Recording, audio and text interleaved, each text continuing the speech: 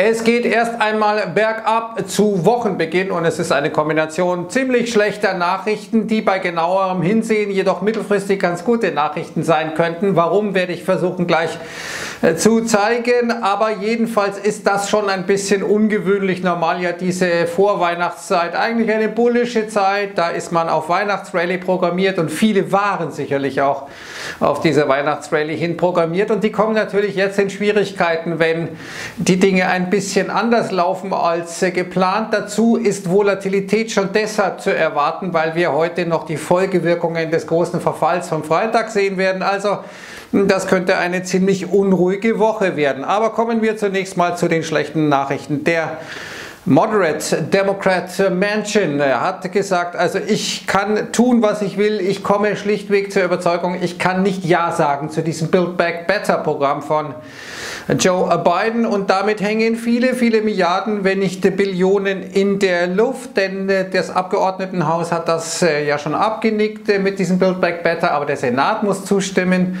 Und im Senat ist es ja ganz, ganz eng und wenn Menschen nicht zustimmt, dann wird das Ganze nicht durchgehen. Und das bedeutet, dass eigentlich eine eingepreiste Stimulusmaßnahme, nämlich von den Aktienmärkten eingepreiste Stimulusmaßnahme, erstmal nicht kommt. Man will jetzt weiter versuchen, den Menschen zu überzeugen, aber das wird alles dauern, wenn überhaupt es gelingen kann. Jetzt hat Goldman Sachs daraufhin ziemlich deutlich die äh, Prognose für die US-Wirtschaft äh, gesenkt und gesagt, ja, also das äh, wird äh, natürlich einiges äh, wegnehmen an Wachstumspotenzial und wird sicherlich eben durchaus dafür sorgen, dass eben manche Dinge nicht so laufen, wie manche sich das vorgestellt haben. Wir sehen hier die Aktienmärkte, die haben negativ reagiert. Die Meldung kam schon am Sonntag. Jedenfalls senkte Goldman Sachs jetzt eben für das erste Quartal die Wachstumserwartung von 3 auf 2 Prozent.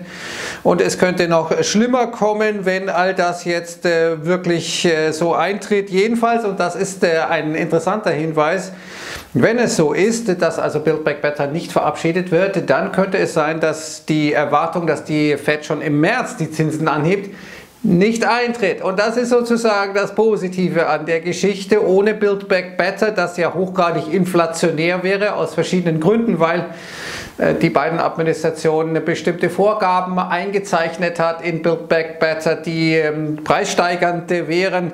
Also es kann sein, dass die FED dann eben nicht die Zinsen im März schon anheben muss. Das ist das Erste. Die zweite schlechte Nachricht Corona genauer gesagt Omikron, Holland jetzt im Lockdown und in den USA wird man zunehmend nervös, nachdem man gedacht hat, ja okay, das ist das Problem der Europäer und stellt jetzt natürlich brühheiß überrascht fest, oh, es kümmt auch bei uns langsam deutlich. Jetzt hat äh, die CDC gewarnt, dass es äh, wohl in der Weihnachtswoche 1,3 Millionen Fälle geben könnte. Das wäre und ein Anstieg von 73 Prozent an äh, Toten äh, bis äh, Anfang Januar. Also hier ist jetzt eine gewisse Alarmstimmung. Jetzt sagt äh, Fundstrat, ein Analysehaus, ja, also wenn Omikron, und das könnte sich sehr rasch jetzt eben verbreiten in den USA, wenn es dann piekt, also wenn es einen Hochpunkt erreicht im Januar, dann könnte es sein, dass die Aktienmärkte zwischen dem 22. und dem 24. Dezember ihr Tief erreichen. Der 24. Dezember, Weihnachten, ist ja Feiertag. Wir haben ja in dieser Woche nur Montag bis Donnerstag, sowohl in Deutschland als auch in den USA. Also das könnte bedeuten, dass es in dieser Woche ein bisschen schwierig wird wird vielleicht in dieser Woche das Tief erreicht wird. Wir werden sehen, nach meiner Auffassung ist das viel gefährlichere Virus für die Aktienmärkte eben Omicron, also die hawkische Wende der Fed. Denn das bedeutet Liquiditätsentzug und Liquiditätsentzug ist Liebesentzug für die Aktienmärkte. Dagegen ist Omikron ein Vorwand für die Notenbanken zu sagen, hm, wir wollten ja, aber jetzt können wir doch leider nicht. Und so gibt es nach wie vor große, große Optimisten wie Macrocharts die sagen, dass also die Optionsmärkte extrem negativ eingestellt sind und normalerweise dann eben auf solche Extremparameter auch eine Rallye folgt, weil dann eben die Puts so zahlreich sind, alle sind jetzt abgesichert und wenn dann was nach oben geht, dann werden diese Puts glattgestellt, man braucht sie nicht mehr und so sieht er hier ein unglaublich bullisches Potenzial. Aber es gibt natürlich auch hier die andere Seite der Medaille. Eine Medaille hat ja zwei, eigentlich drei Seiten oben, unten und die Seitenränder sozusagen. Aber schauen wir uns hier mal die andere Seite an. Wir sehen, dass in diesem Jahr über eine Billion Dollar in die Aktienmärkte geflossen sind, die globalen Inflows über eine Billion, das ist mehr als in den 19 Jahr, äh, Vorjahren gesamt. Das muss man sich mal vorstellen. Das heißt, 2021 ist so viel Geld in die Märkte geflossen wie in 19 Jahren vorher in der Summe nicht. Und das ist natürlich extrem. Das heißt, alle sind schon drin, könnte man sagen. Das ist äh, das Problem, das sehen wir auch am Margin Debt hier in ähm, fast eine Billion sind wir jetzt, das ist extrem und wenn wir uns jetzt eben auch den Anstieg zum Vorjahr anschauen, auch extrem. Normalerweise ist das nicht so wirklich gesund. Das heißt, alle sind in, alle sind auch gehebelt. Das heißt, wenn mal was substanziell nach unten geht, dann ist eben ein Dominoeffekt möglich. Dann äh, werden viele, die sich vorher für die besten Trader der Weltgeschichte gehalten haben, feststellen, dass diesmal nicht alles anders ist und sie nicht besser sind als die anderen, auch wenn sie das immer wieder tönen und sagen, Stocks always go up. Das heißt, wir sind jetzt in einer Phase, in der es schwieriger wird, in der ähm, wichtig wird, welche Aktien man auswählt. Nicht, dass die Aktienmärkte komplett nur eine Richtung kennen, alles nach unten oder nach oben geht, sondern jetzt wird eben entscheiden, wer macht die richtigen Entscheidungen. Vorher war alles eine Soße, Liquidität geht oben, die nach oben äh, die Notenbanken pumpen, ähm, die Flut hebt alle Boote. Jetzt werden wir sehen, was passieren wird. Wenn wir jetzt mal über Zinsanhebungen sprechen, sollte die FED sie wirklich, die FED sie wirklich machen, dann sehen wir, dass normalerweise die Aktienmärkte eigentlich ganz positiv sind bis zum, zur ersten Zinsanhebung, bei der ersten Zinsanhebung auch nochmal nach oben gehen. Warum? Weil schlichtweg dann, wenn äh, eine Notenbank die Zinsen anhebt, normalerweise die Wirtschaft eben gut läuft. Aber jetzt wird die US-Notenbanken wahrscheinlich gezwungen sein, die Inflation schon wegen der Inflation anzuheben und gar nicht mal so, weil die Wirtschaft so gut läuft. Okay, die läuft noch relativ gut, aber in Europa läuft sie nicht mehr so wirklich gut. Wir sehen das in Deutschland, wir sehen in China einen deutlichen Abschwung. Das wird auch an den USA tendenziell nicht vorbeigehen. Jedenfalls normalerweise Zinsanhebungen sind gar okay am Anfang, bis sie nicht mehr okay sind und dann sehen wir, dass diese Zinsanhebungen die Wirtschaft belasten. Daraufhin gehen die Aktienmärkte nach unten, daraufhin geht der Zins dann in der Regel auch wieder nach unten. Und so sagt jetzt die Bank of America, guckst du, normalerweise kauft man eben die erste Zinsanhebung und verkauft dann bei der vorletzten Zinsanhebung. Jetzt sagt aber hier die Bank of America, diesmal ist es anders. Wir haben ein anderes Schema durch Corona und die Inflation. Man erwartet tighter Financial Conditions, also weniger laxe Finanzbedingungen, denn das ist genau das Ding, was die Fed erreichen muss, wenn sie die Inflation runterbringen will. Dann muss sie diese extrem ultralaxen, historisch ultralaxen Finanzkonditionen ein bisschen verstrengen sozusagen, damit sie die Inflationserwartungen nach unten bekommt. Bank of America jedenfalls sagt Long Dollar Long Move, das ist die Volatilität der Anleihenmärkte. Long VIX, das ist die Volatilität des S&P 500. Short Credit, also ähm, zum Beispiel Junk Bonds. Äh, man sagte, dass die Earnings per Share sich verlangsamen werden, also die Gewinne äh, werden sich äh, verlangsamen. Man äh, sagte, Zyklika sind äh, möglicherweise jetzt nicht so gefragt. Long Commodities, um die Inflation abzuhatchen, also Long Rohstoffe, man sagt Short Nasdaq und möglicherweise Long Emerging Markets und China. China ist offenkundig ja dabei, geldpolitisch jetzt schon umzusteuern aufgrund der Wachstumsschwäche, dazu gleich mehr. Also hier ein paar Empfehlungen. Defensiv ist das Motto. Nicht jetzt eben das Motto, das wir praktisch seit einem Jahrzehnt haben, vor allem seit Corona eben, Nasdaq, Tag, Long, unprofitabel, egal, teuer, egal, rauf.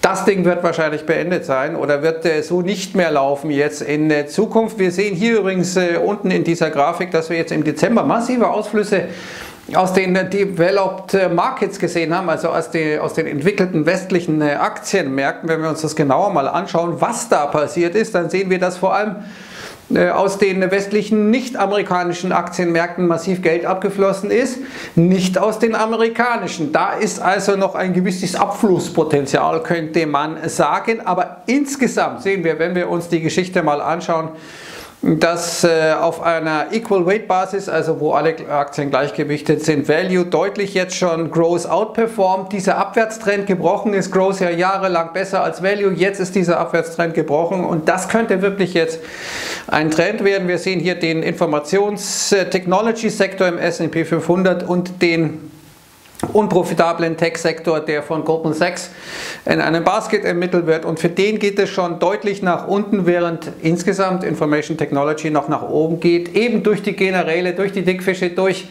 eine Apple, eine Microsoft, wie sie alle heißen, eben diese ganz großen Aktien. Was bedeutet das? Das könnte bedeuten, dass es für eine Dame, die meine zweitbeste Freundin ist, ein bisschen schwieriger wird. Die hat sich jetzt am Wochenende geäußert und wieder gesagt, ja, guckst du, also meine Strategie ist doch die richtige, auch wenn die Zahlen derzeit dagegen sprechen. Man muss ja sagen, sie hat äh, eine Zeit lang eine sehr gute Performance gehabt.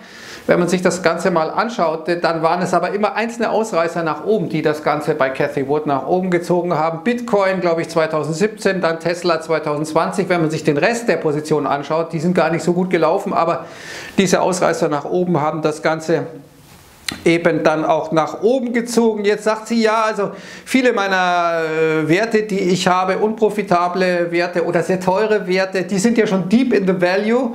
Also die sind tief äh, praktisch günstig jetzt schon, äh, so sagt sie. Naja, eine Tesla mit einem Kursgewinnverhältnis von 1300 und da ist Tesla nicht die einzige.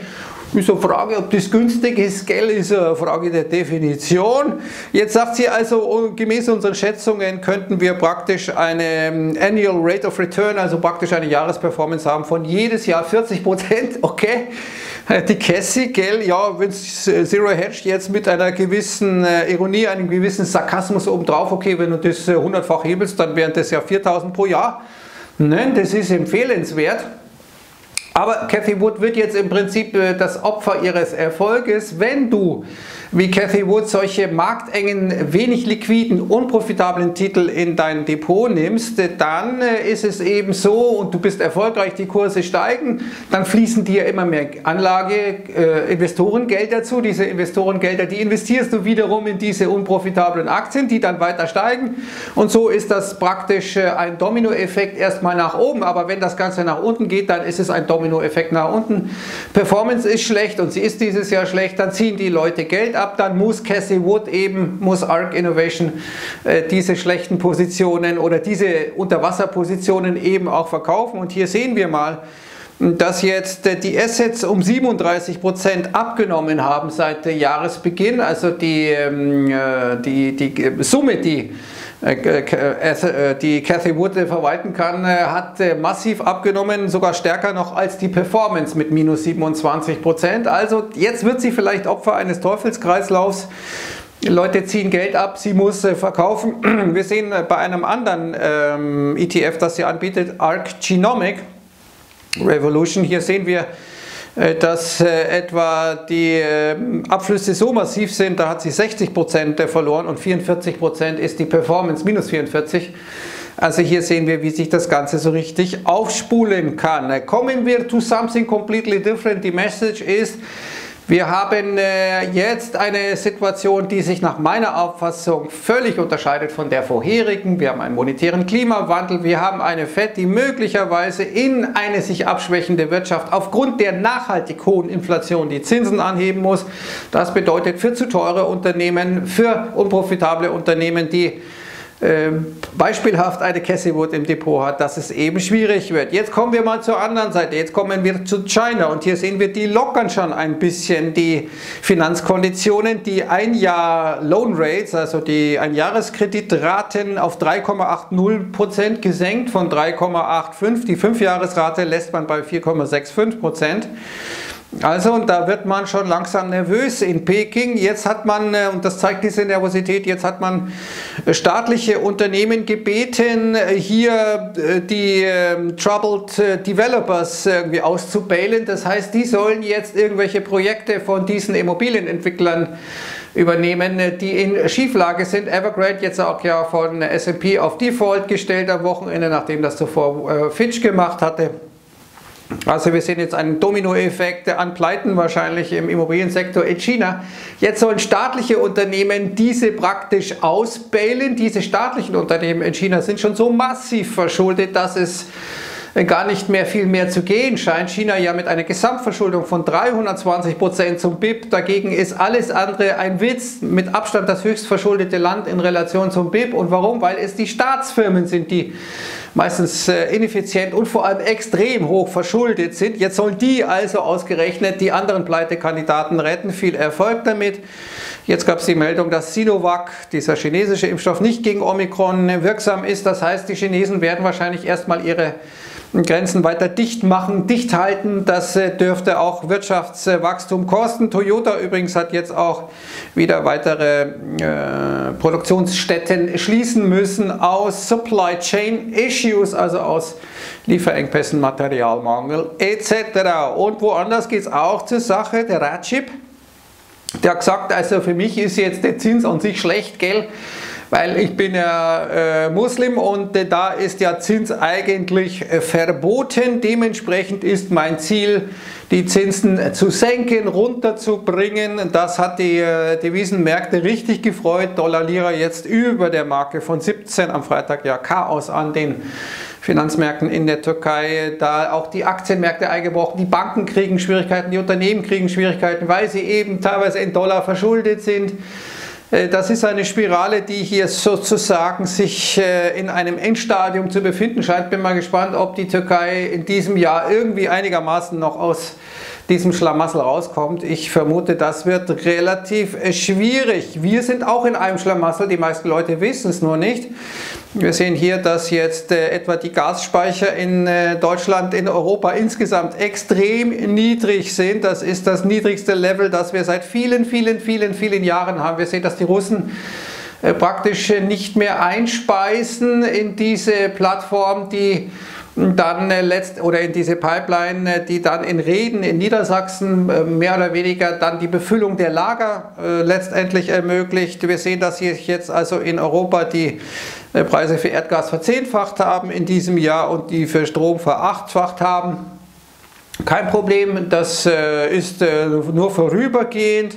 Mein Kollege Hannes Zipfel hier einen Artikel geschrieben, Gaspreisrechnungen explodieren, Lieferungen eingestellt, Lagerbestände schwinden, werde ich Ihnen unter dem Video dann noch verlinken. Wir sehen, dass wir hier etwa neue Rekorde bei Strompreisen haben. Wir sehen jetzt in Westeuropa überall über 300 Megawatt pro Stunde, in Frankreich und der Schweiz fast 400 Megawatt pro Stunde. Und das sind die Zahlen, die ich Ihnen gleich in Relation setzen möchte. Hier jemand aus einem äh, Forum über Strom, der in einem Kohlekraftwerk arbeitet. Da heute ein historischer Tag an der Strombörse ist, möchte ich euch Folgendes mitteilen. Der heutige Tag ist mit 344 Euro pro Megawattstunde der teuerste je an der Börse gehandelte Tag. Ich bekomme gerade Chef-Info äh, von meinem Chef. Ich äh, arbeite in einem der modernsten Kohleblöcke der Welt und kann mich äh, nicht daran erinnern, dass wir jemals so viel in Betrieb waren wie in diesem Jahr. Das heißt, ein Kohlekraftwerk gesteuert so viel dazu bei zur Energieversorgung Deutschlands wie noch nie. Äh, das ist die grüne Energiewende mal ein bisschen andersrum. Und die äh, Bundesnetzagentur fordert also praktisch ständig den Betrieb dieses Kohlekraftwerks, schreibt er hier. Und für mich bleibt es unverständlich, wie man in so einer Situation am Jahresende drei AKW abschalten kann, also Atomkraftwerke. Genau das passiert, ja, also man schaltet jetzt ein potenzielles Backup-System, über das man nicht begeistert sein muss über Atomkraft, das verstehe ich ja durchaus, aber man schaltet ein Backup-System, das er aus dem Gröbsten vielleicht rausholt, rausholen könnte, wenn mal richtig Not am Mann ist, das schaltet man jetzt ab. Dann sagt dieser äh, Insider, der, Winter wird spannend. Aufgrund der tiefen Flusspegel ist die Kohleversorgung in Süddeutschland schon sehr angespannt. Hinzu kommen noch die historisch leeren Gasspeicher. Somit fehlt nur noch ein harter Winter, damit es richtig eng wird. PS äh, zur Einordnung des aktuellen Strompreises. Wir haben gesehen, über 300 Euro die Megawattstunde. Zwischen 2014 und 2020 äh, waren wir so zwischen 25 und 30 und dann bei 60 Euro die Megawattstunde. Also eine massive ein massiver Anstieg und es deutet nichts darauf hin, dass äh, das jetzt äh, irgendwie bald weniger wird, denn die Temperaturen werden demnächst fallen. Zweiter Hinweis auf einen Artikel vorhin, diesen, diese Explosion bei den Gaspreisen. Jetzt der zweite Hinweis, EZB tief in der Zinsfalle, türkische Lira auf Lira Crashkurs. Und ähnlich wie die türkische Zentralbank ist auch die EZB scheinbar nicht besorgt über irgendwelche Preisstabilitäten oder Geldwertstabilitäten, sondern man ignoriert äh, Inflation und äh, sagt äh, und tut so, als wäre all das kein Problem. Es ist ein Problem, ein wichtiger Artikel, den ich Ihnen unter dem Video auch verlinken werde. Das sind die zwei Hinweise. Mal schauen, wie es heute weitergeht. Es gibt auch eine positive Seite dieser Geschichte mit Omikron und äh, vor allem mit Menschen. Die Frage ist, wann kommt die zum Tragen? Jetzt einen guten Start in diesem Tag und die zwei Artikel unter dem Video. Servus anschauen.